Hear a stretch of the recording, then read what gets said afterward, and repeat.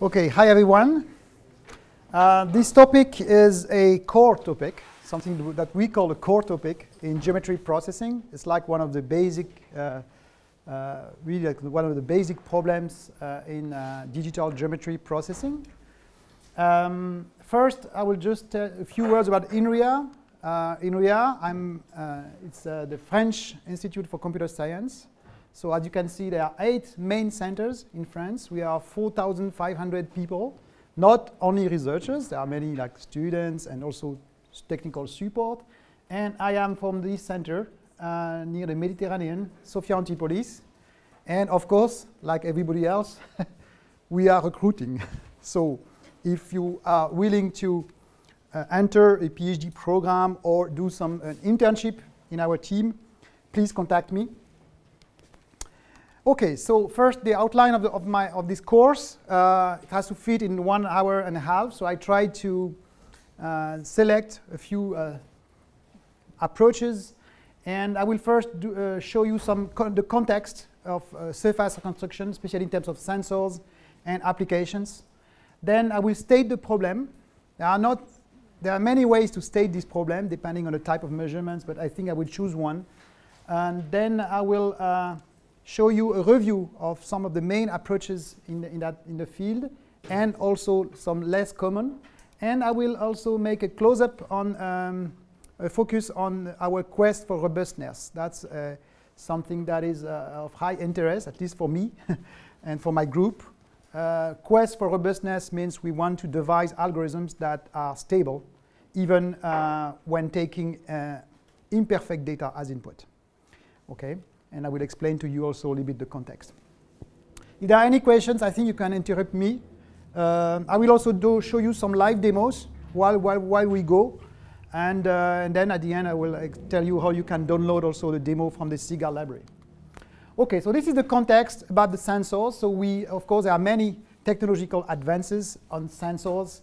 And the, the main evolution that we, uh, we witnessed was that there was an evolution from contact sensors. So this is a contact sensor. Okay, it looks like a finger. It's a mechanical finger. And then uh, this was mainly done for a quality control when you manufacture here uh, an, a mechanical piece, for instance. And then this finger can really accurately measure a, a 1D coordinate along this finger. Okay, there is a translation here. And there was an evolution from contact to contact-free.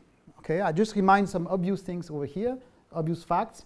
And then there were some uh, scanners, like laser scanners. That's also one means, very uh, uh common means to acquire uh, geometry.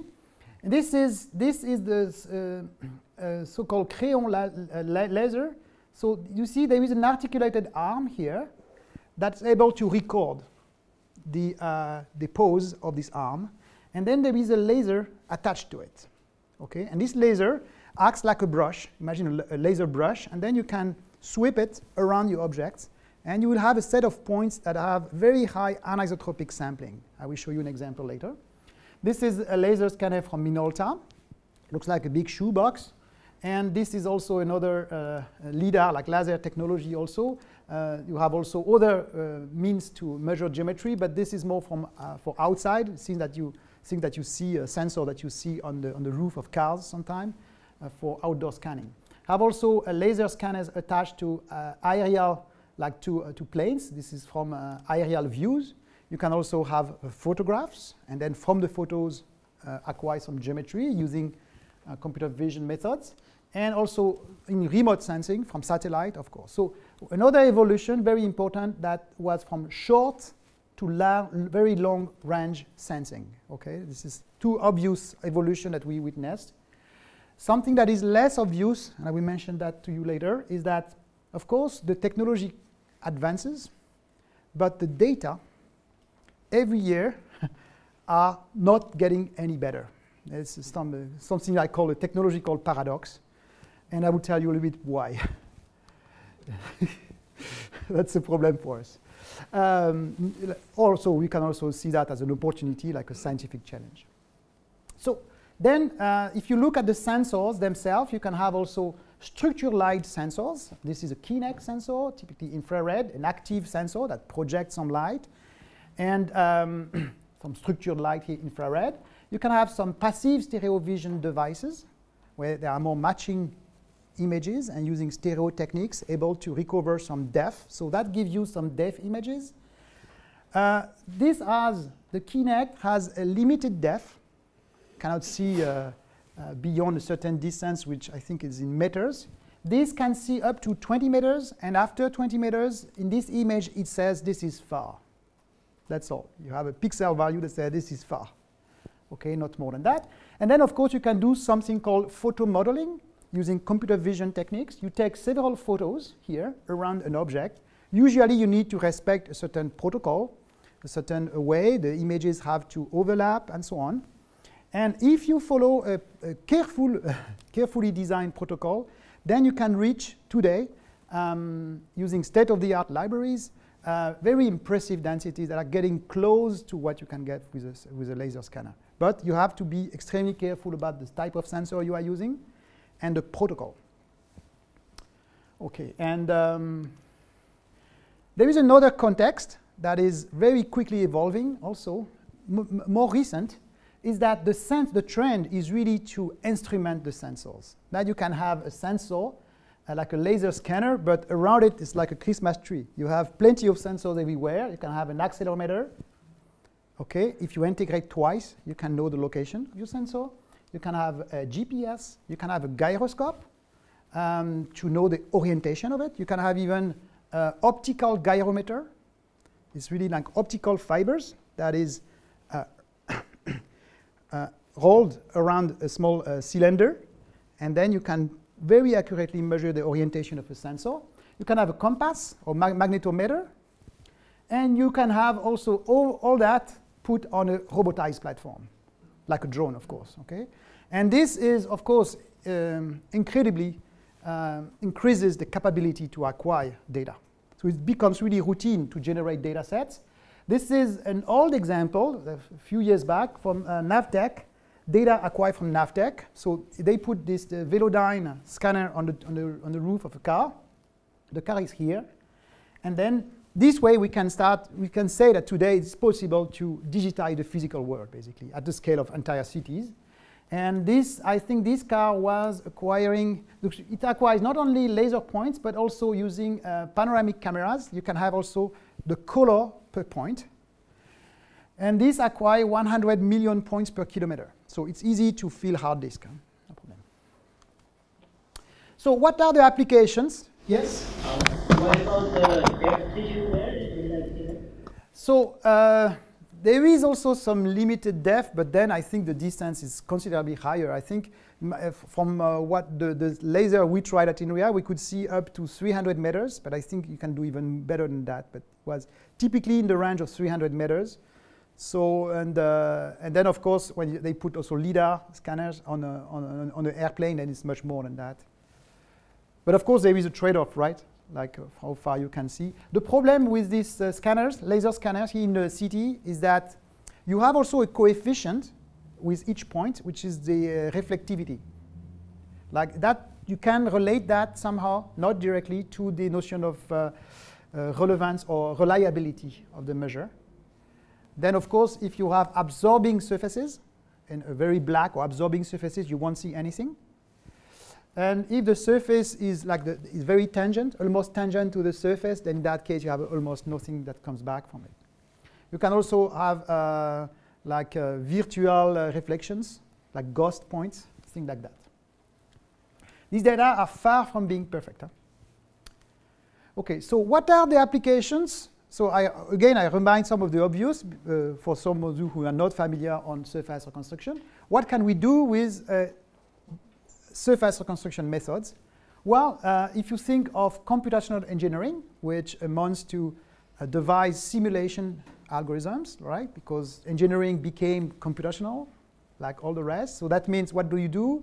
You replace the physical uh, prototype by a virtual prototype, like a 3D model, and you replace the experience by some computation, by simulation, right? So this is computational engineering, but now we can do that at the scale of a city. This is an example of a thermal and uh, wind simulation in a city. Uh, then to do that, uh, let's say a faithful simulation, an accurate simulation, You can go outside, digitize the physical world around you, and then you need some reconstruction algorithms to do that. For reverse engineering, uh, reverse engineering is when you have a mechanical part or an object that maybe the, the concurrent of a company has or did, manufactured.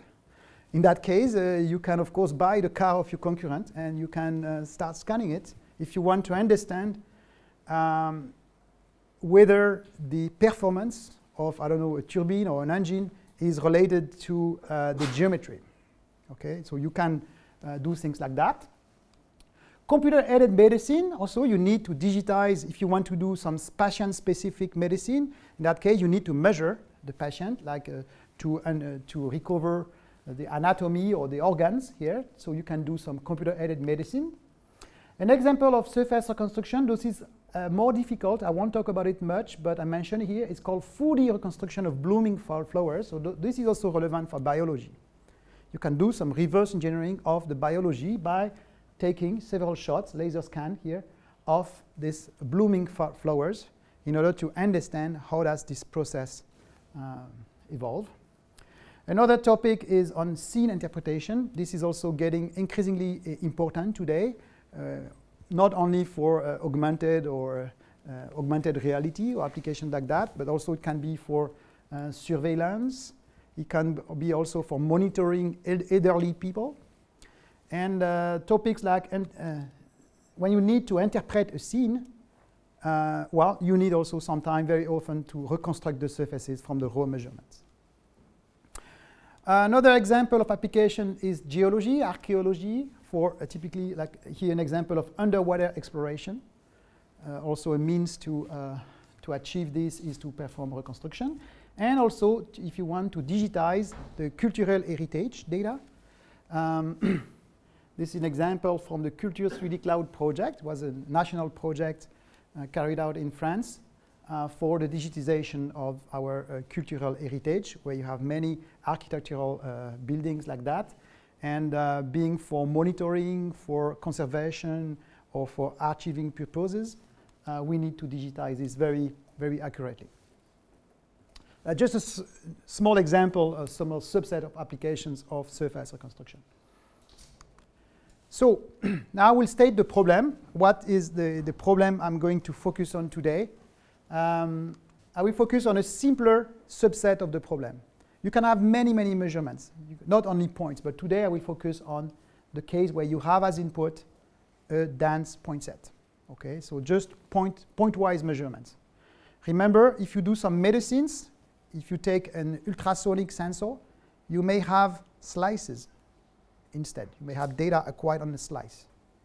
Okay, there are also other type of sensors. Sometimes you can acquire more than points, like point or just orientation. You have also sensors that give you only the orientation of the surface, not the location, and things like that. So suppose I assume here uh, that I have a dense point set P sampled over a surface S.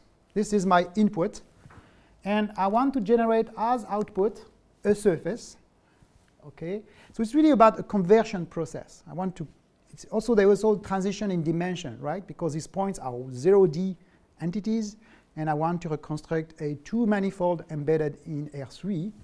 And so I want that the surface is an approximation of S, both in terms of topology and in terms of geometry. Is, can I assume that everybody knows the difference between topology and geometry? Yes? Okay, good. Okay, so this is a very general statement for this problem. It's a conversion problem. And of course, natural questions are under which condition am I going to recover the geometry, the topology? Uh, when am I going to recover a surface in this process? Um, it's really, why is that a scientific challenge? Because this is really a core topic because this is uh, at the core of transitions between here physical representations that you access only through measurements, mathematical representation, because the surface, I can say it's a two manifold, so that's something mathematics, abstract if you want, or continuous in a sense, and discrete, digital. I have a point set that has to be represented in this computer, right? So it's really about going from measurements to mathematics and discrete, and this is really uh, about the transitions between these three representations. So now, this was in the ideal case, we start having a little problem here. It's not a dense point set, not always a dense point set. Okay, there are cases where it's too dense even, but very often, and the reason is why I will explain to you why. So we can have very imperfect sampling. That's the first issue we may have. We can have non-uniform sampling, non-uniform simply due to the way we acquire the data, right? It can be also like the tangent angle. If you sweep a laser scanner here, I will acquire like that, right? On the top of the roof of the car, there is a revolving scanner. If you go like that, you will acquire many points over here, and then on this wall, almost tangent, you will get very few points. So the sampling will be non-uniform with a very widely variable sampling. Anisotropic, I will show you an example. You can have also missing data, that is holes, due to occlusions, right? Of course, like behind this table, I won't measure anything. It can be either because the scanner cannot go into a cavity, or just because of the self-occluding scene. I can also have uh, some absorbing surfaces, like black surfaces that will be absorbing. I can have a mirror, I can have a glass, and so on. And plus, because it's a measurement, oh, by the way, this is an example of a point set generated uh, via uh, computer vision techniques it, uh, using a, a, digital camera. And you see that there are some points, and for some reason there are no points over here. There are some points missing over here. This is an example of a hand. So this is my hand, okay? I molded my hand in plaster. We do that in our lab. And then uh, we brushed, I brushed my hand on a, let me show you an example, with this uh, Kreon scanner. And I don't know if you can see that from where you are, but the sampling is extremely anisotropic. And on the right, you see from photographs, we took some photos and of this uh, little uh, sculpture here on the capital. And um, you see that I can have data that are very, uh, because of the matching algorithm, right? The computer vision algorithm needs to do some, to match the points between the photos. So if the matching is in incomplete, you get some outliers, some noise, some incomplete data. But just show you the, uh, what does this uh, point set look like.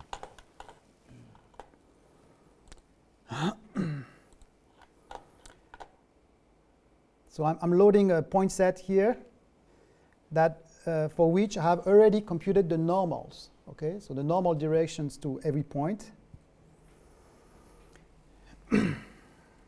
Just take some time to load it. And my computer, it's a small laptop with a, a very bad graph graphics card, but hopefully it will be enough to, to show you what it looks like.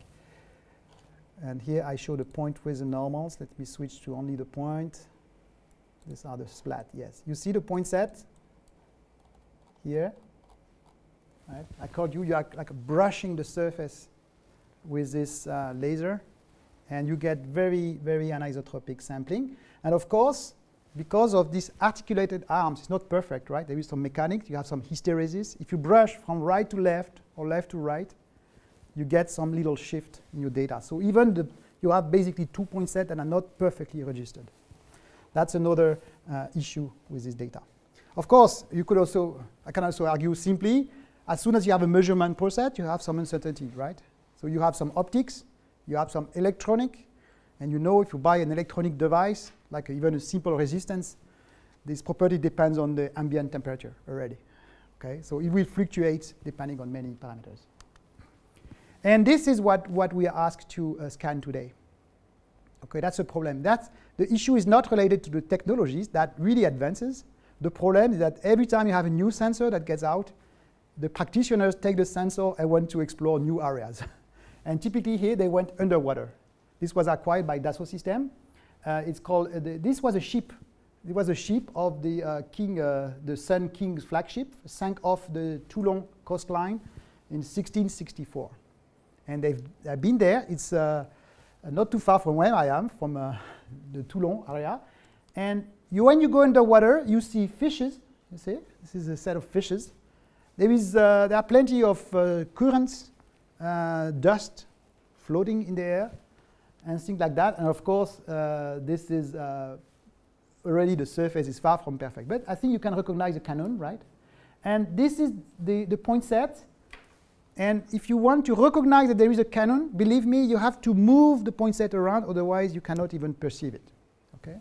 So this is the frontier of what we can reconstruct today. This is really uh, the uh, frontier knowledge of what we can reconstruct. This is really not far from being satisfactory what we can do on this point set.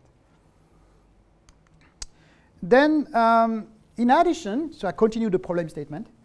Uh, I said we want the right topology and geometry, but sometimes there are other uh, properties we would like to have, either desired or sometimes good to have. Uh, sometimes you have like a point set like this, and sometimes, very often for some applications, 3D printing, simulation, fluid simulation, and so on, you want a surface that is watertight. Right? Even you have very missing data, you, I could not go enter this, I could not enter the scanner in it. So I have only one side of this solid, right?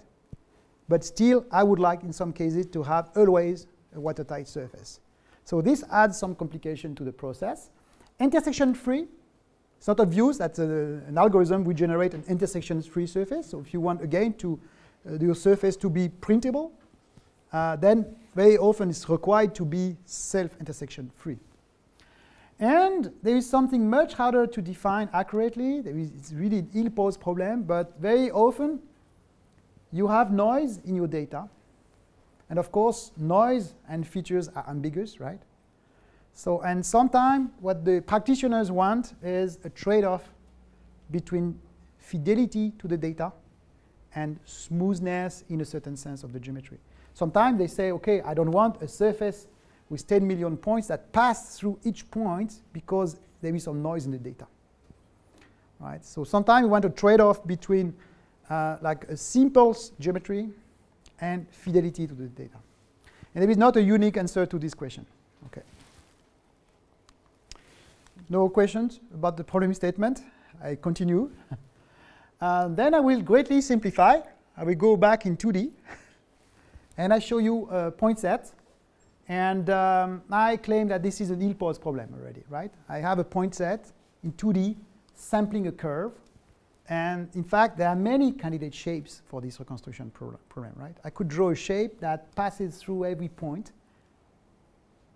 I could go near the input point, right? I could say this is a valid reconstruction.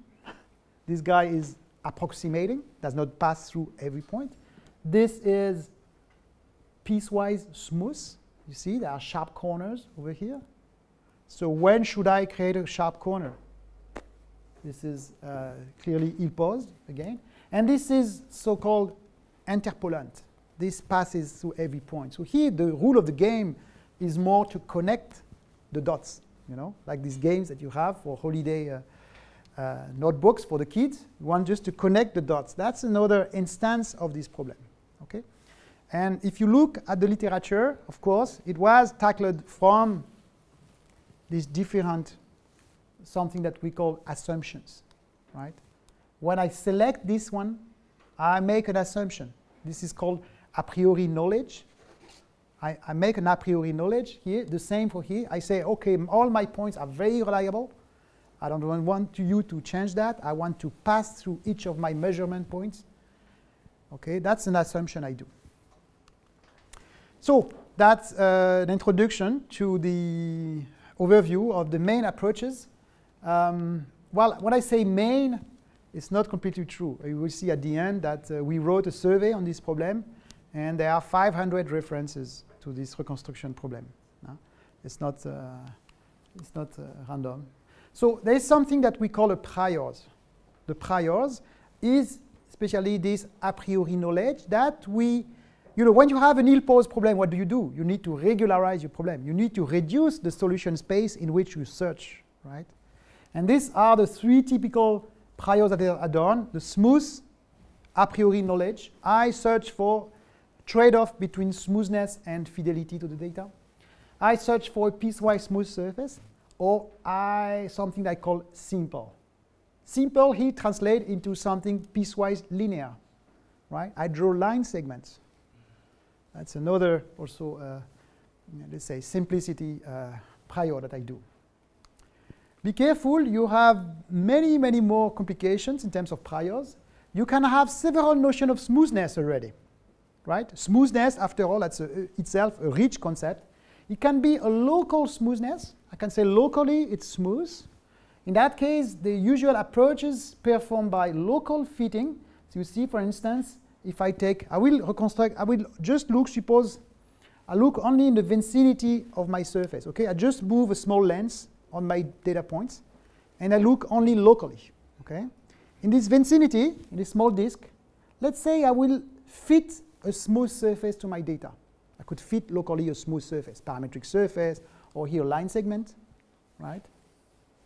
In that case, I will not have control away from the data. That means I will not be able to fill very large gaps, very large holes, right? And very often the solutions are found by interpolation. Namely, when you move this disk locally, you will generate, you will select another neighborhood and point cloud in this neighborhood, right? And therefore, if you think of this smooth fitting curve or smooth fitting surface, right, you will have several ones when you move this disk. And usually, this solution is found by interpolation, some kind of blending of these solutions, okay? This falls into the family of uh, so-called uh, point set surfaces. And um, so this uh, typically like moving least squares or things like that. Then you have another notion of smoothness that can be much more global. In that case, uh, it's different. You look for a notion of smooth surface. It can be not just a surface like here, a curve embedded in R2. It will be rather uh, typically an, something we call an implicit function. You search for a function here from R2 to R. So you search in the space of function defined everywhere in space where the points are embedded. And then usually the solutions are found via global solvers. I will go back later into that, okay? Linear solvers, eigenvalue problems, graph cuts, things like that, okay? After, of course, designing the right data structure. And this is the goal is to be robust or resilient to missing data. When you have very large hole, this is a means to say, okay, even if I don't have any data over here, I will fill this hole completely because by construction, I will only search for a solid, okay? And I will obtain a watertight surface by construction. I just sketch a few of the ideas and then later on I will uh, make a focus. And here, that's another assumption. I say it's a piecewise smoothness. So I just remind some of the obvious also for, for some of you who are not familiar with this concept. Piecewise smooth means what? It means I search for a surface that is sharp near the sharp features, near the features. Namely, uh, on this table, I have a crease, right? This is a sharp crease. I can have a corner, I can have the tip of a cone, I can have a cusp, I can have a dart, right, which is a dying feature, a crease on the surface. Like a complex set of features I can have. So it's sharp near these features and smooth away from these features. Okay, it's very vague at the moment, but then I will come back to it later. Okay, so we have seen already three a priori knowledge and already three notion of smoothness. I continue. Then in the literature, I do a little bit of advise, advertisement for what we do in our team also. Sometimes you can have some very domain-specific priors. Suppose I say eh, what I reconstruct is an urban scene, or it's a scene of objects made by humans. I know you will have a course after this one on fabrication. Okay, that's the typical assumption here. We say, okay, this, this is a building, this has been made by humans, and then you can rely on this a priori knowledge, which say the surfaces are, let's say, 80% made of planar parts. Okay, in a buildings, 80% of a city are planar surfaces, easier to manufacture. And if that is the case, you can use this a priori knowledge to help reconstructing the surface. And then, of course, you start searching for the planar parts, searching for, for adjacencies between them, adjacencies, sharp creases, corners forming only between planar parts. And then you can structure your, restructure your point set. You see this is a point set that has been structured with corners resampled completely, completely resampled along creases, corners, and so on. And then we perform a reconstruction.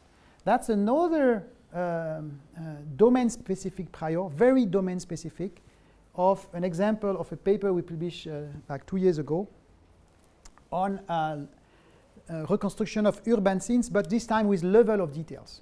Okay, and also in accordance with the semantic of urban scenes here, we say, okay, if I'm able to classify the scene to recognize what is a tree, what is a facade, what is a roof, what is a superstructure. Superstructure is a cheminée or a terrace on the roof. In that case, if I can first classify the data, I can leverage this semantic information to help reconstructing the surface. And also I can generate a surface, not one reconstructed scene, but uh, levels of details in accordance with the CityGML uh, de facto norm, which says that LOD zero is the floor plan. Level one is a set of shoe boxes. This one, level two, is with the roofs, and level three is with the facades and the cheminées. But this, I won't go into more details, okay, for this part. I, I fold that completely, and I am back to uh, the very basic assumption, okay? So now I'm entering into the detail of some of the approaches. I cannot be exhaustive in an hour and a half. I just want you to give you the, the will to maybe read more on that topic and read a few papers. And of course, the survey I will advertise at the end will be a means for you to save time because we also structure the survey along these lines. The first prior was simple, yes? Uh, one question maybe you covered it later. Uh, I think one of the main challenges in reconstruction now is lack of any ground truth. Right. Do you also feel the same or did you also encounter this? Because this notion we have also tried similar prior in different contexts, but um, like in the today's morning when we had this learning. Yes, learning. Yes. Lack of yes. any ground truth. Absolutely, yes. And synthetic scans are just. I completely agree. It's what is very strange these days is that the people who uh, plan to devise a technique for, let's say, um, Kinect data, they take the laser scanner as ground truth. and so on. You can recur this way, okay? Like you take a crappy sensor, or, or let's say very bad but very, very time efficient sensor, and you take the better one, just the range above it, as a ground truth, things like that. But you are right, it's very, very hard today to get data that have been, for instance, certified certified by someone. You know, you can, when you build a house, you can call someone, like a geometer and uh, someone who can, uh, metrologist, he can certify, he can sign with an insurance and everything that this point coordinate is exactly exact and so on, right? But it would be one point at a time. exactly. It would just be the corners of your building and that's all. But if you come with 100 million points per kilometer, then I, don't, I cannot imagine that, yes. Yes. But you are right, that's, that's a big issue. Okay, so now I start lifting a little bit the hood into some of the classical approaches. Uh, for many of you, uh, the more senior ones, you know that by heart, but let's say I want to be a little bit also uh, covering this family of approaches. You have a family of approaches, remember the assumption, simple, piecewise linear. For this assumption, the very basic tool, very classical set of approaches are based on Voronoi diagrams and Delaunay triangulation. What is a Voronoi diagram? Okay, that's a data structure that is deduced, constructed from the set of red points you see on the left. And uh, the definition is very simple.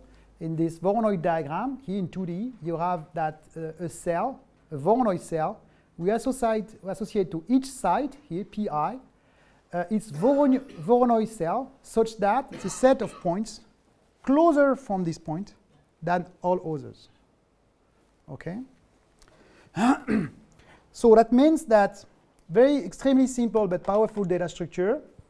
If I show you here, if I place two points, okay, in that case, you see the bisector between these two, just the Voronoi diagrams is form of two regions that are infinite here. And of course, this line is a bisector, so equal distance and orthogonal to the segment A and B. If I call this point the two point A and B. And then if I add new points, I will have a data structure and the adjacency between these cells encode notion of proximity between the points. Okay. And then uh, what is very nice is that once you have this Voronoi diagram, then you can deduce a dual data structure that's called a Delaunay triangulation that said that the simplicial, so it's a set of simpli, it's a simplicial complex here, the, the, the, green lines here and the vertices, such that k plus 1 points form a Delaunay simplex if their Voronoi cells have non-empty intersection. Namely, if you have two Voronoi cells that share a Voronoi edge, namely the intersection is non-empty, you simply connect these two dots by an edge. Okay. so that means that you can almost uh, forget, okay, if I, if I show you that, if I place just four points, this is my Voronoi diagram, okay, and I can deduce a Delaunay triangulation. And of course, if two points gets closer, you see, there is a change of connectivity of the triangulation. Okay? So this is very simple data structure. You can even forget about the Voronoi diagrams almost. And this, this is a canonical way to triangulate a set of points. And because that encodes the notion of proximity between the points, we can make an assumption. We can make the following assumption. We, we say that assuming a dense enough sampling, the sampling is dense enough, okay, that is sufficiently dense because this Delaunay triangulation encodes the proximity between the points, I should have in the tri Delaunay triangulation the right triangles I'm looking for. Okay, you see that assumption. For the moment, it's just intuitive. And that means that here I have drawn, here I, rendered a set of uh, triangles that form the whole 3D Delaunay triangulation. Okay. This data structure works in the arbitrary dimension. You see there are many triangles, many edges, but I want to keep only a subset of them to form this triangulation that will be connecting the dots. Okay. And now what does it mean, dense enough? Right? Now that's a critical question, of course. And um, the thing is to answer this question, okay, I have first to define the notion of medial axis, local feature size, and epsilon sampling. You know, if you think of this signal theory, you know, these Shannon conditions. So now, in fact, there will be some analog here condition for sampling of surfaces. Okay, because it's not an ordinary signal, there is some new notion here, like topology, I need to go and uh, discuss these, uh, these notions here.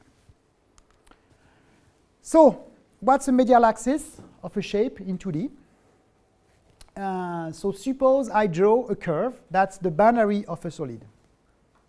Okay, it's the boundary of this pink solid. Suppose uh, I have, I now I will draw uh, the set of maximal disks, namely the disks that are maximal bitangent, at least bitangent to the shape. For the moment, I draw the disk. Okay, imagine you grow disk, and you grow it until it becomes either bitangent or three tangent or more. You can also put disk outside. Okay, you have disk outside and inside. Okay, you have an infinite number of disks if the shape is, especially when the shape is uh, curved, like smooth. And if you look at the locus of the centers of all these disks, this draws the medial axis. In some literature, it's called skeleton, right? Skeleton, why? Because it's, it's in the middle, right, of the shape. Okay. And uh, an intuitive understanding of this structure is suppose you, uh, you put this boundary on fire, okay, you put it on fire, and the fire advances on the grass at uniform speed. Where the two fronts of the fire meet, now we draw this uh, medial axis. Okay. Okay. So now uh, the nice thing, and I will skip some of the detail now, but the nice thing is that if you are your shape, this is a shape, okay, is sufficiently well sampled, then the Voronoi vertices, remember that these Voronoi vertices are this guy. I forgot to, to mention that before. So remind you that when you have, this is a Voronoi diagram, this is where you have three Voronoi cells meeting, three Voronoi cells meeting. This is a Voronoi vertex. And this is a, a point where you can place a disk because this is equidistant from these three points. Okay? And a nice property is that if your shape is sufficiently well sampled, then the Voronoi vertices turns out to be a good approximation of your medial axis. Okay? And I will show you uh, also maybe a small demo of that. I can even draw a shape. I'm using the CGAL library um, to do this. So suppose I draw a shape like that. I can smooth it, make assumption that it is smooth. I sample it, and you see where are the Voronoi vertices, right? You see that this is indeed an approximation of the medial axis of that shape, okay? But I should not have a point everywhere else that on the surface. If I would put one generator here, you see what happens? Okay, my medial axis is completely doomed, okay? I continue. So now, what's the definition of local feature size? The local feature size, is, if you want, intuitively, that's the analog of notion of uh, period of a signal, if you want. But this time it's defined only on the curve, and it's simply the distance from that curve to the medial axis. Okay? You see for this point, it's, that is the, the local feature size. And the tricky thing is that this notion is not only related to the curvature. Okay, I want to show you that maybe on this other example. It's related to three notions altogether.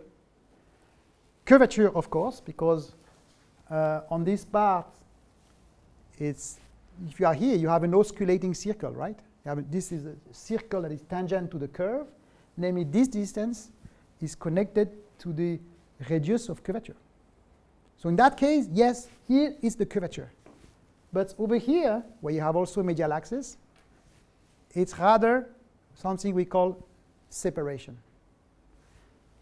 Here in the middle, it's the thickness of the shape. So now you have three notions altogether captured by one scalar quantity, curvature, thickness, and separation. Okay? Because uh, just on this small demo, I will show you that if I have two shapes, I will try to draw two rectangles. Wow, it's not easy. Okay, I'm adding one. I can add another one.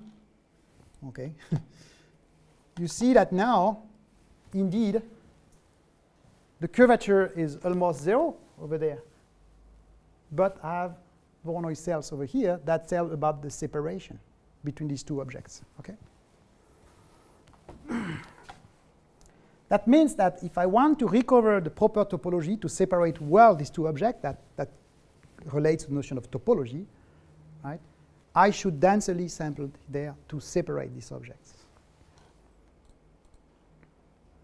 So now what is an epsilon sampling? An epsilon sampling is a point set that is sufficiently dense such that if I take any point here, x, on that shape, if I grow a disk if I grow a disk of radius epsilon times local feature size, and typically 0.1, I must have a sample point. Okay? If you do that, if you have this assumption, if you have this property, you have something we call an epsilon sampling.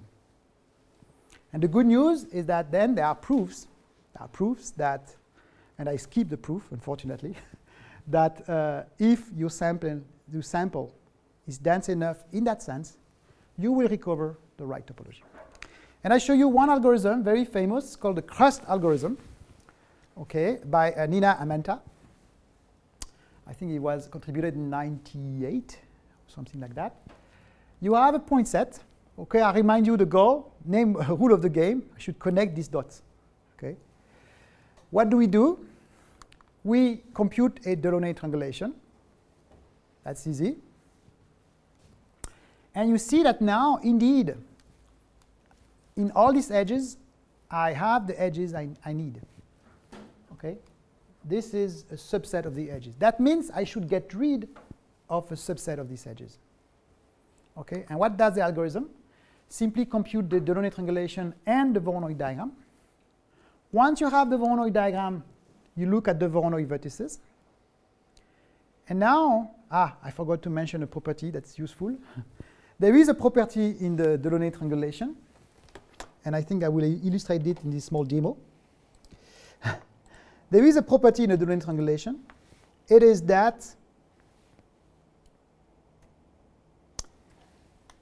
I will generate only four points. Okay. There is a property in the Delaunay triangulation is that, so I remind you, once I have here two triangles, I can draw the circumcircles, right? And of course, the center of the circumcircles are the Voronoi vertices, right? Okay, and there is a property in the Delaunay triangulation. It is that all the circumcircles are empty. They do not contain any of the other vertices of the triangulation. That means that if I take this, you see this circle, if I try to move it left to the, toward the left and up, it will not insert this guy, it will flip an edge. Okay, to remain empty. Okay? So therefore, in that case, remember, we want to get rid of these edges. Then very simple, what you do, you insert the Voronoi vertices in the Delaunay triangulation. In that case, you will strongly violate this empty circle property.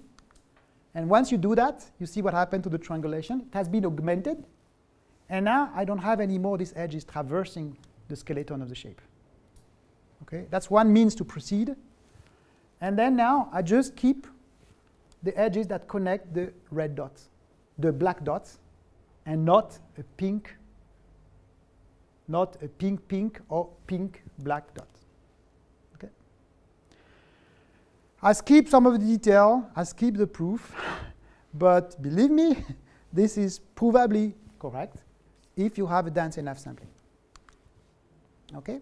And I have a demo for this little uh, approach also. So it's not very easy to see. I can show you an example in 2D. This is the crust algorithm.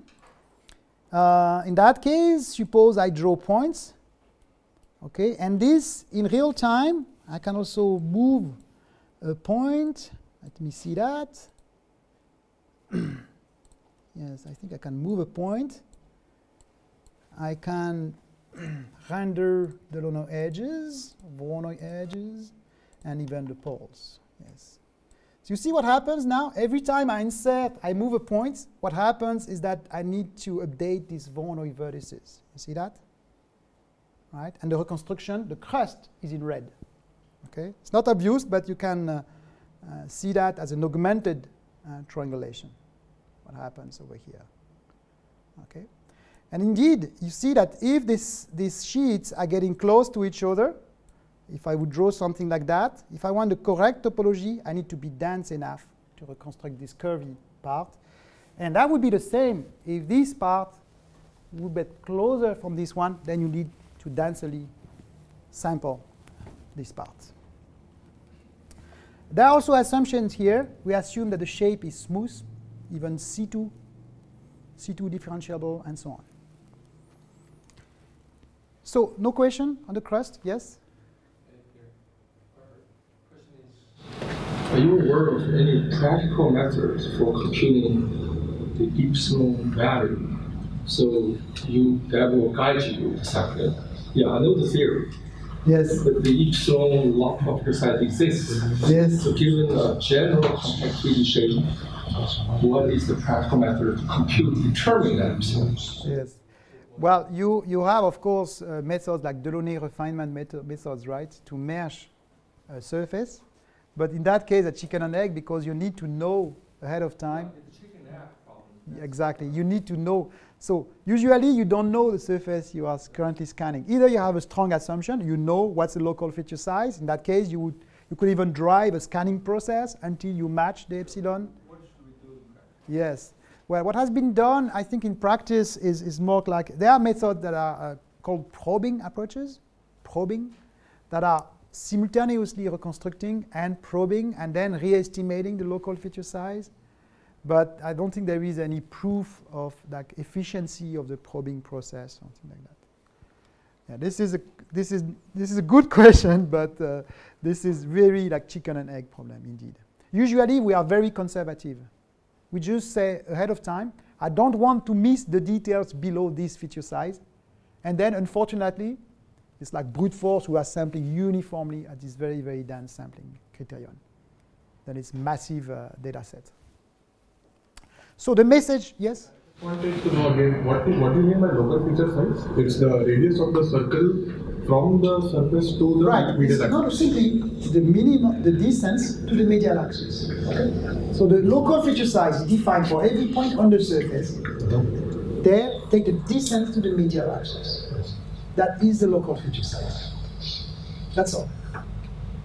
But if I remember, the generalization from crust to 3D already is a problem. Yes, yes, you. That's a good question. I'm kind of sorry because I'm skipping some of the detail here. This works well, this crust in 2D, but in 3D you have already a complication. Is that some of these Voronoi vertices can be very close to the surface, and in that case you need to filter them out to select a subset of the Voronoi vertices, which are called the poles. Okay, all that is very well explained in these computational geometry papers, and indeed, very good question. I'm skipping some of the technical details here. Okay. But life is not as easy as that. Just to illustrate the principle, uh, like the, the simplest 2D reconstruction algorithm. So the message I want to pass here is that several Delaunay algorithms, they are probably correct. Probably correct. You have a proof. Under the assumption that the data are perfect, because dense enough, noise-free. Okay, so this is never something we have in practice, especially when you talk to people from, I don't know, Dassault System or other people, which uh, practitioners, every time you give them a new sensor, they say, oh, it's very cool, new one. Now I can step back and measure more things at, at once. They don't use it to measure more data, usually. They say, oh, now we take it underwater, or I will take more data at once. Or they will tell you, okay, but it's too expensive. Can't you replace these expensive sensors by a Kinect? But I would agree to scan 100 times the shape. This is called super resolution. Okay, you scan 100 times, hoping that you can replace the technology by an algorithm. okay, that's also another trend, and this is a scientific challenge for us. So many people from computational geometry prove that this is probably correct, and I recommend a book by Tamal Dey.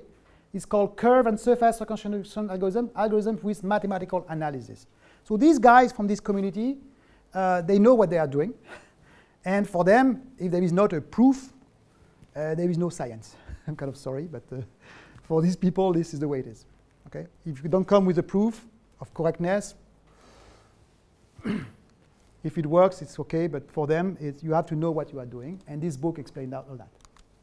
So, probably correct in the absence of noise their sampling. That's a very strong assumption, and that means perfect data, and we are not at all in this condition, especially in the geometry processing community. Okay?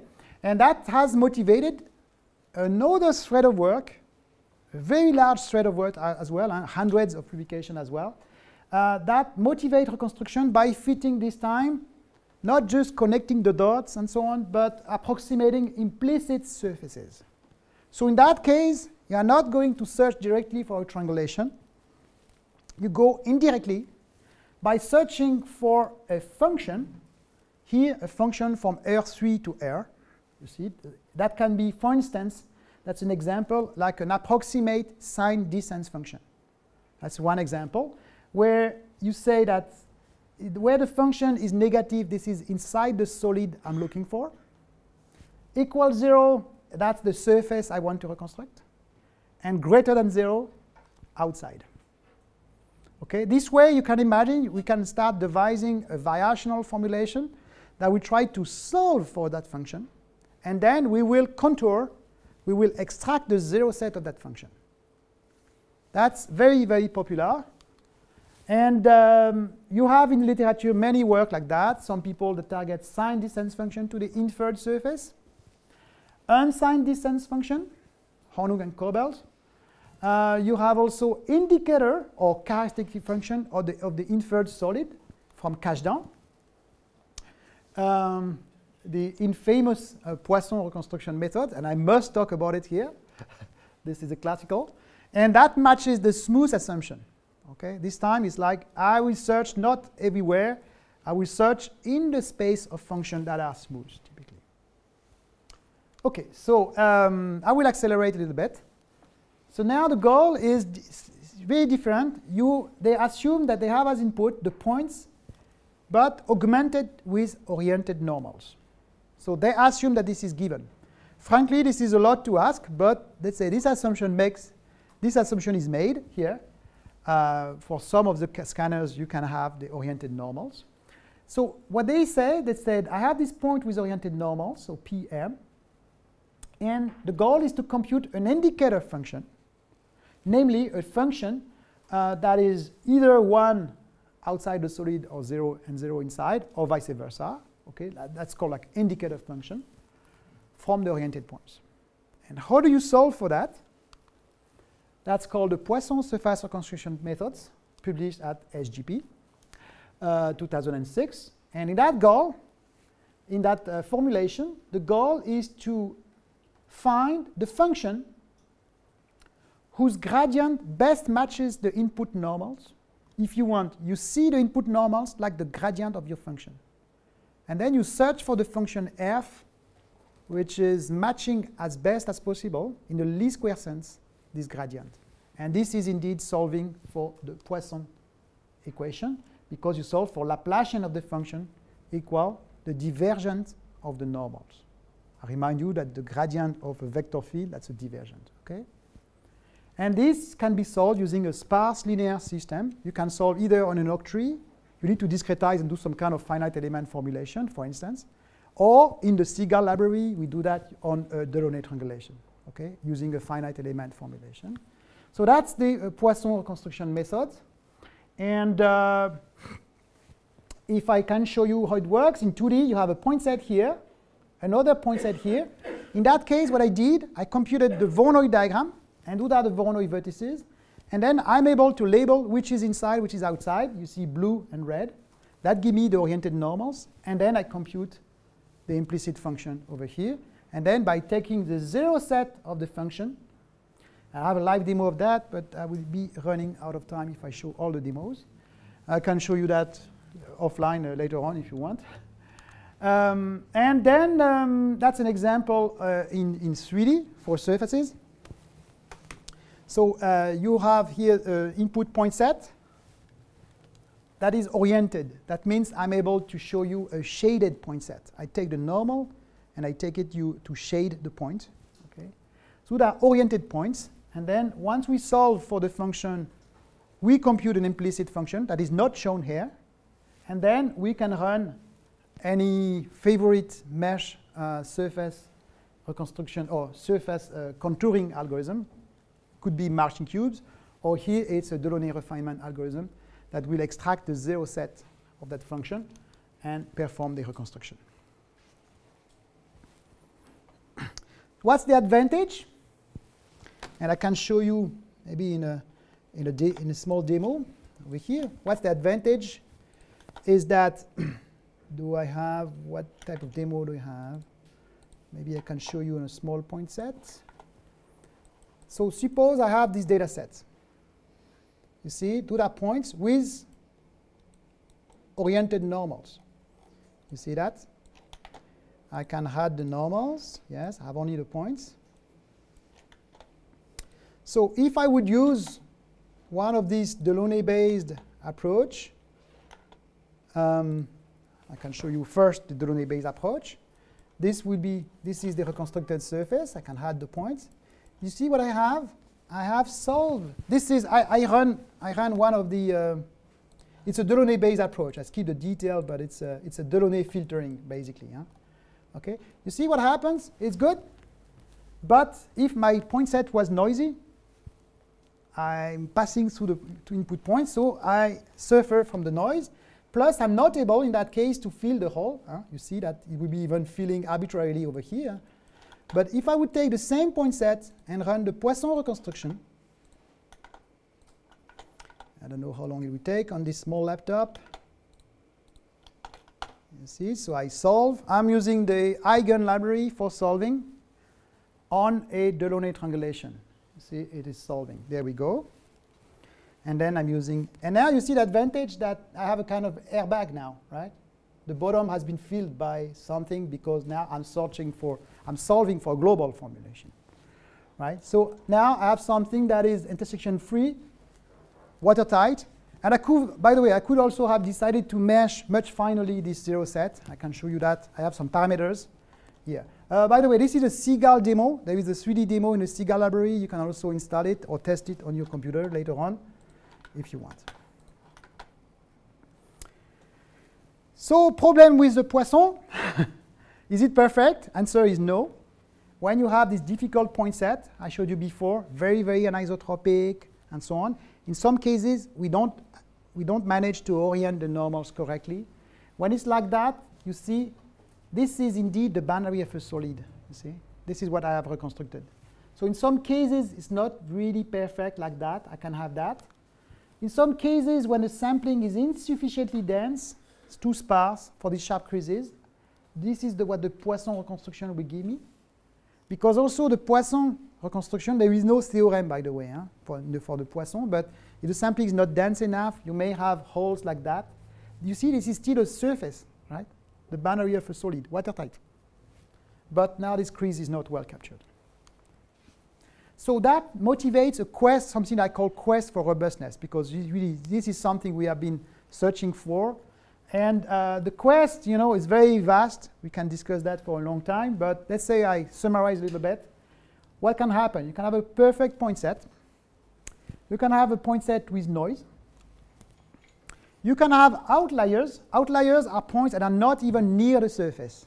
And this happens when you take some uh, multi-view stereo approaches if two points in an image are incorrectly matched, they will be in the middle of the street. Okay, for urban reconstruction, really in the middle of the street, no problem. You can have non-uniform sampling density. If you take also uh, some scanners are known for that, it will be very non-uniform. You can have missing data. In many cases, you have missing data, especially indoor scenes with many, many occlusions. And worst case, you have even variable noise. And this is a Kinect sensor because the noise in a Kinect is exponential as a function of the depth. So even the noise itself can be non-uniform. Okay? Then you can have all kind of bad things happening, structured outliers, and you can go always in horrible uh, things underwater. I showed you before this fish outliers thing. This is very, very bad. So now the problem with the Poisson reconstruction is that it requires oriented normals, remember? And the problem I have with that is that very often normal estimation, suppose you are given only the point, estimating the normal, already that's an ill-posed problem. Second problem is that orienting the normals, that's almost as hard as doing the reconstruction. First question we can ask is, can we deal with unoriented normals? That would be already much easier, right? Because we can imagine that we don't estimate well the direction. But can we deal with unoriented normals? Okay? And that uh, has motivated a work that we did some time ago hmm. at SGP, Uh, dealing with unoriented normals. So suppose I have a point set, you see noisy here, noise free, very dense, and here very sparse. In that case, can I measure the quality of a sampling? The answer is yes. We do that by using a Voronoi diagram. You see, we compute a Voronoi diagram. And then to characterize the quality of a sampling, that may answer part of your question. Can we characterize the quality of a sampling? This is one proposal to do it. We measure, we compute the covariance matrix of the Voronoi cells. And if it's anisotropic enough, if it looks like a pencil, okay, it has to be pencil shaped. It has to be a pencil. If it's a pencil, you are good to go. Okay, if you have a lot of noise here, you are also in trouble. If you have outliers, we don't know how to deal with that at the moment. That motivates, uh, an, motivated another approach we did at SGP 2007, and uh, it's called spectral reconstruction. So here, the message I want to pass is that be careful. If you want to be more robust, you have to pay the price with a heavier solver. Okay, like you, the, the price of the tool usually is increasing. I would love to have something like a free lunch thing, but here, for this part, at least there is no free lunch. How do we perform that? We first compute tensors. We estimate tensors for Voronoi cells. You see that uh, not exactly pencil shape, but you see that once we compute the covariance matrix of a Voronoi cell, uh, we can do that in closed form. Huh? We can take the principal component of these tensors. And now what I would like to do is not the Poisson equation anymore. Um, now what I would like to do is to compute a function whose gradient align to this principal component, right? This is what I would like to have. And um, in case it's very noisy, I, I, am in trouble. Because it's very, very noisy, you see that here, I have a Voronoi cell whose principal component is like that, tangential. It's the worst case. But uh, Tamal Dey proved that if you don't have outliers, then even in presence of noise, you have not far from this cell a anisotropic cell. And indeed, you are here, you walk a little bit, and you find this guy, right? So we devise an approach where we walk from neighbor to the next neighbor, to the nearest neighbors, and then we compute the anisotropy of the union of Voronoi cells, and once we have a peak in anisotropy, we keep this union of Voronoi cells. Okay, then how do we compute the implicit function? Now, so now it's not points with normals, it's points with tensors. We compute an implicit function. How do we do that? This is getting a little bit gory.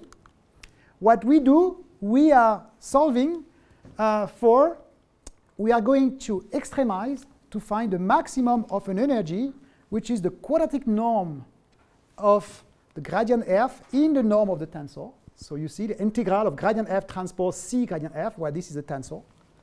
It says this term is maximum when the gradient of f is well aligned to the principal component, but independently from the orientation. Okay?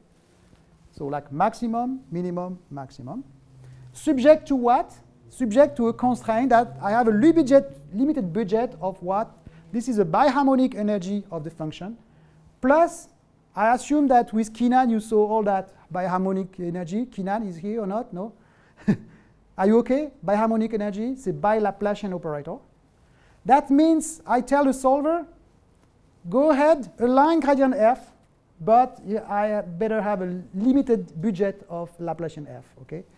Plus epsilon norm of f squares, that means, this is the tricky part, that means, oh, by the way, I would like the function to pass through the zero set, namely, I would like that the zero set of the function passes nearby the input points.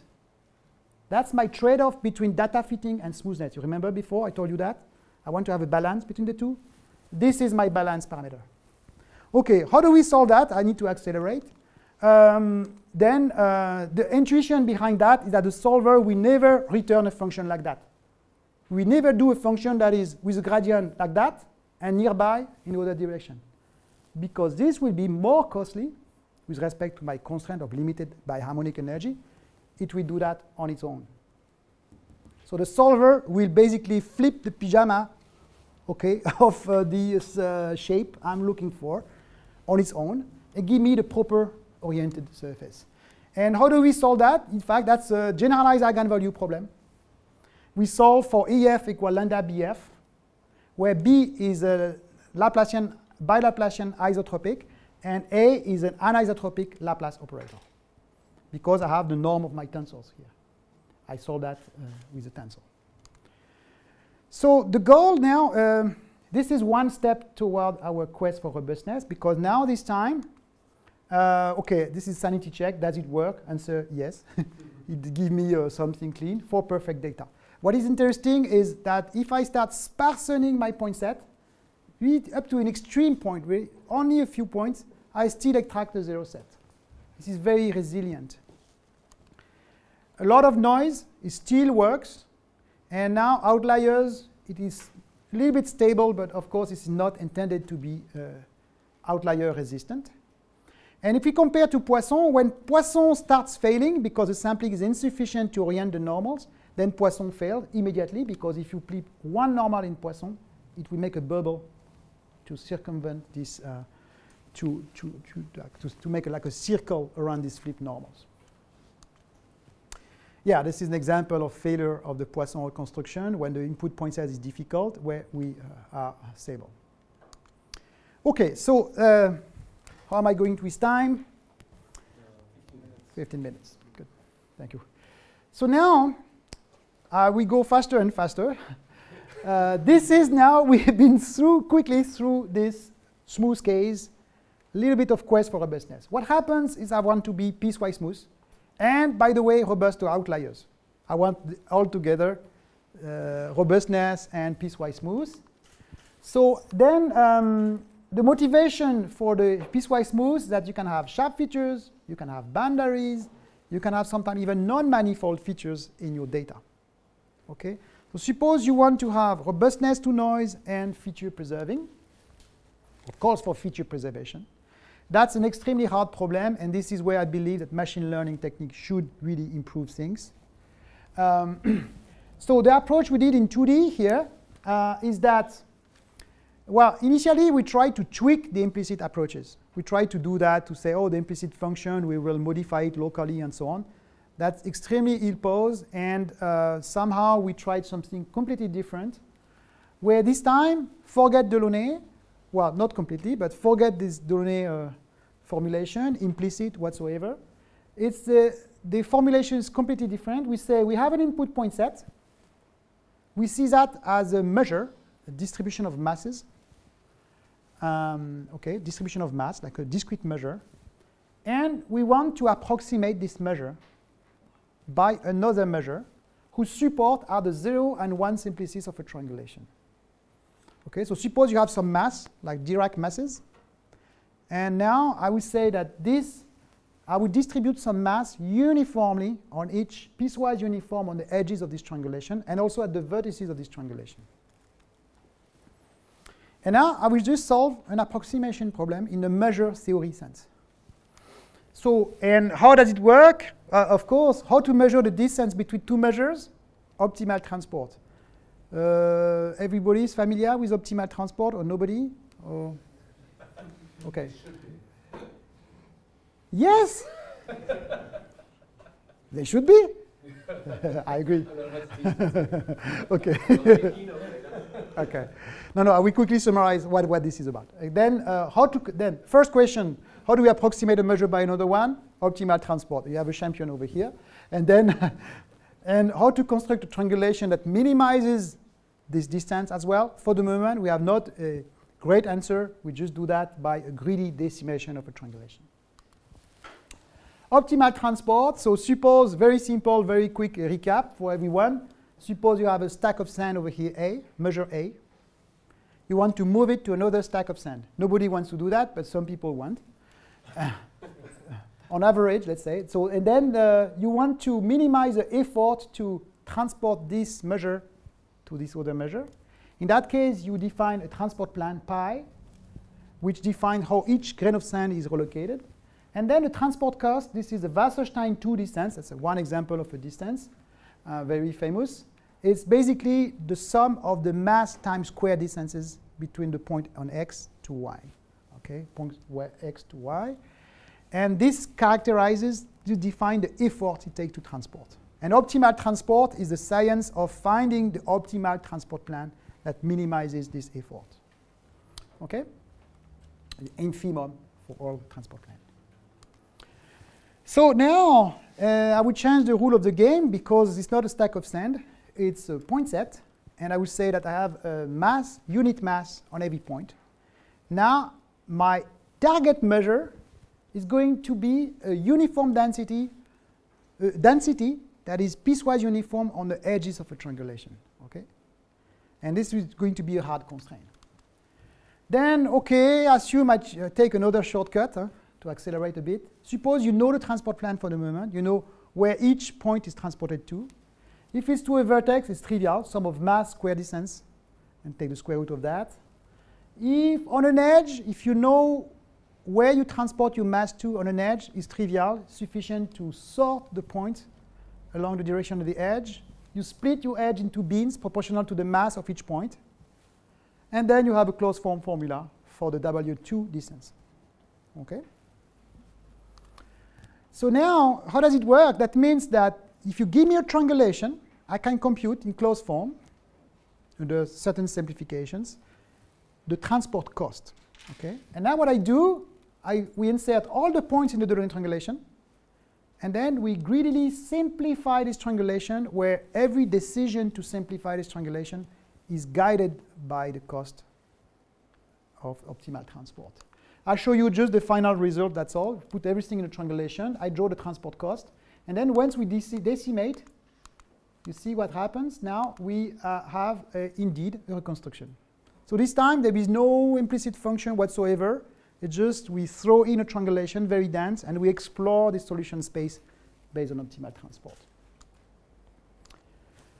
So now, what do we gain? We gain very large robustness, much improved. So this time you see plus, we can uh, faithfully reconstruct some of the features, some of the boundaries, resilience to noise, and even outliers. See some outliers over here. This time, when we have some outliers, the assumption is that their density is not large. Otherwise, they would not be outliers. Okay? Therefore, in this formulation, they don't weight much in the distance, and therefore the method is robust to outliers. More noise, it is resistant, stable. Even more outliers, it starts degrading, but it degrades sort of gracefully. Okay, and this is what we are searching for. We search for methods that are resilient to this type. Okay, so this is, uh, let's keep that. For surfaces, suppose I would like to have the same for surfaces. Surfaces life is a little bit more difficult because in that case we need, we cannot make the assumption that, oh, we transport the entire mass of a point just to one edge or to a vertex. In that case, for some reason that I skip, we need to use a fractional transport plan that we can split the mass mi into submasses. And then we, there is no closed form anymore on the triangulation. We need to split every triangle into bins. So suppose, you see, this is, a, by the way, this is a Voronoi diagrams, a Voronoi diagram computed on every face to discretize every triangle. And then we say that every bin will receive some mass. Okay? So we fill the bin with some mass, but not randomly, not non-uniformly. Has to be proportional to the capacity, to the area of each of them, such that the mass is uniform on every triangle. Namely, if you start filling this bin, you will fill all the other bins proportionally to the area. Okay? And now um, my variables mij, if I have a bin bj, mij's define the transport plan. Okay? Who is transported to where? How do we solve for that? Answer is easy but very costly. so uh, we minimize a linear program, sum of mij square distance between pi and the bj, with some constraint that the mass is preserved, sum of mij equal mi, that the density is piecewise uniform on the simplices. So there is one variable that is density per simplex, and the densities are positive. Otherwise, the solver returns negative densities and so on. Okay? So if we do this, uh, we solve for the transport plan. Plus, for a given transport plan, suppose you see this is a point set shape uh, sampling a triangle. This is a triangle. We solve for the transport plan. So you see these red lines define the transport plan. Who is transported where? And the, the, the blue label defines the density, the variable mij. Now, what's nice is that for a fixed transport plan, I can relocate the vertices of a triangle to minimize transport cost. Okay, it's like expectation maximization algorithm. And then I relocate the vertex, vertices of the triangle, and I can recompute the transport plan. And if I do that, in fact, my triangles will line up with the geometry nicely. So, and then what we do, I skip the detail also, we insert everything into the triangulation in 3D. That defines the density per triangle. And we let a decimation algorithm, again, and relocation, right? So we decimate and relocate the vertices in accordance with this transport cost. And that generates this type of things. So you see, and triangulation looks like that at the end. This is um, not perfect. You see that you have four triangles covering one step. This is suboptimal, but looks like a little bit what we want to have at the end, right? It's a pure optimal transport formulation that's able to preserve the boundaries and the sharp creases with good robustness to noise. So the uh, big drawback does not scale at all. Okay, so we are currently working on an approach that scales much better. What do we gain? We gain robustness to noise, robustness to sparse sampling, feature preserving. We obtain this instead of that. So there are some virtue to do that, to have a direct formulation based on transport. Main issue is scalability. Cannot scale more than uh, uh, 100,000 points, okay? Which is a toy model if you think about it. What's next? Um, machine learning, of course. All this, you could argue, is Manuel here or not? He's not here. So um, this morning you learned that machine learning is great to solve some of the problems. I really believe that here I made some assumption, remember? Piecewise smooth, simple, smooth, and so on. The big issue with my approach is that usually once I make an assumption, I will apply the same assumption everywhere in a scene. And this is where I believe that hopefully machine learning can help us learn the assumption that varies in a scene. Because I could have not the same assumption for a tree, for a car, or for a building. Okay? And we are currently working on this. It's really like exploratory research. And this, if some people want to uh, apply for us for an internship or for some stay in our group, welcome. Uh, what happens today? Uh, you know, I thought initially that, okay, these acquisition paradigms are done.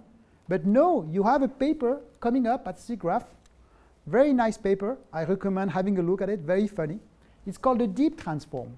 And I love that type of things because here they say, oh, by the way, if you give me an aquarium with some water, if I dip an object in it using the Archimedes principle, if I monitor how the water goes up when I lift, when I sink an object in it, by measuring the profile of the water elevation, and turning the object in a sufficient number of directions, I can reconstruct it.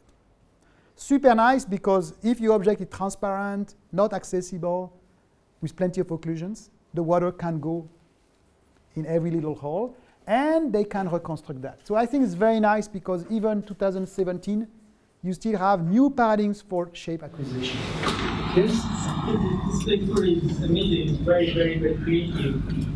But I think it's the method same as CT scanning. As what? Uh, as CT scanning. Yeah, of course, if you think of, of course, all these medical things where they have projections and then they do this radon transform, if you think about it, the same type of ideas. But I don't know, I think it's refreshing. It's very nice to see that indeed today you have people inventing new approaches for acquisition. Yes, I agree with you. There's a lot of similarity with radon transform. Then you have also novel acquisition paradigms, something that has been done already in the past, but of course that's not the final answer, is that today some people observe that there are so-called community data. There are people sharing data on the web, like photos and Flickr and so on. And that means because you have communities, for instance, tourists, you know, you have tourists going everywhere in the world, and this number is constantly increasing. You could argue, okay, they go, they take the photos, and that's all. I just have to sit and wait for the data and I can uh, crawl this data and use that for reconstruction.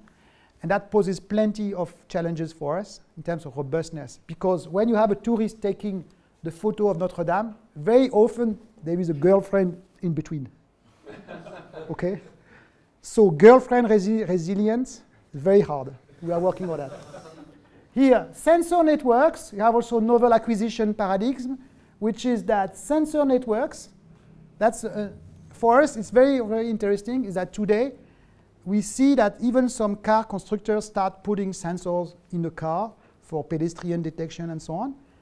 That means for us it's very different, it's thinking differently. Instead of sending an expert, sending a plane to acquire data, there is a constant, maybe in the future there will be always a constant sensor network, always working.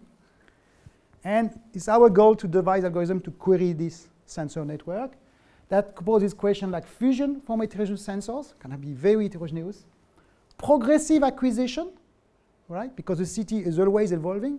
How do we do a continuous update of a reconstruction model in a city? And we start a PhD thesis with Dassault System on this topic, right? Where you have constant acquisition, and you want to update a reconstruction.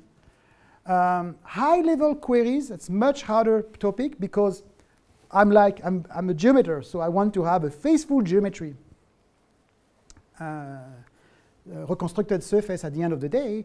But in fact, when you talk to practitioners that are from other discipline, uh, like, uh, I don't know, historians, the historians, they will ask you higher level queries. They will ask you, what's the relationship of the style of that between these two cities in Europe?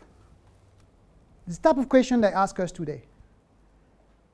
Okay, and the question is how do we query a sensor network to answer the question and to find the correlations in terms of the style and so on of two cities, right? It's, it's another way to also approach this problem. It's really beyond reconstruction. Uh, then, of course, uh, in terms of if you think of 3D digitization, why do we want to work for that to make also societal impact? Uh, in my, my view, my view, it's very interesting still because, for example, you can make cultural heritage accessible to all. Uh, today, there are also big challenges in terms of telepresence, right? This is not a joke. I mean, this is really an evolution. Some people start thinking of making telepresence a routine via virtual, augmented, mixed reality. That poses questions like reconstruction in real time of humans and uh, streaming of this data, reconstruction, real time, and so on. And of course, the new era of mass customization, this is also, I think, very exciting. You start seeing some sign of that, that some people want, uh, as a customer, to be involved in the creation process, like to have a customized uh, object for everyone. Maybe one day you will uh, uh, be able to enter a shop bike with not a single bike because they will make a bike for you, that's all. They will just scan you and make a bike out of you. So uh, I think this, of course, this is where reconstruction has to play a role. I recommend this recent survey that we published in last year, uh, survey of surface reconstruction from point cloud. And if you have any question, I will be at SGP. Thank you.